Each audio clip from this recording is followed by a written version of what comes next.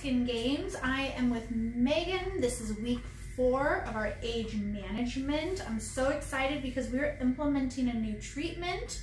We are sponsored for the rest of the games uh, from the MyoLift. So an electric current that will trigger the ATP in Megan's cells, that adenosine triphosphate, to help lift and firm and create that youthfulness that we are looking for. We will be doing this bi-weekly from now until the end of her case study. So we will be able to squeeze in eight treatments over the next four weeks.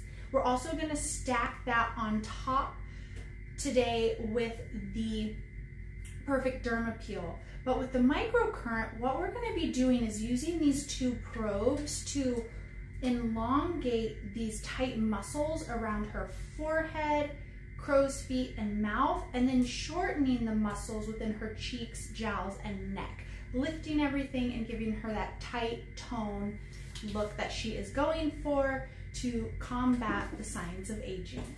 As we just finished Megan's microcurrent treatment, we are compounding, stacking up her week four, next applying the Perfect Derma Peel. This is a seven day peel, medical grade, where in day three, four, and five, she will significantly peel top layers of dead skin.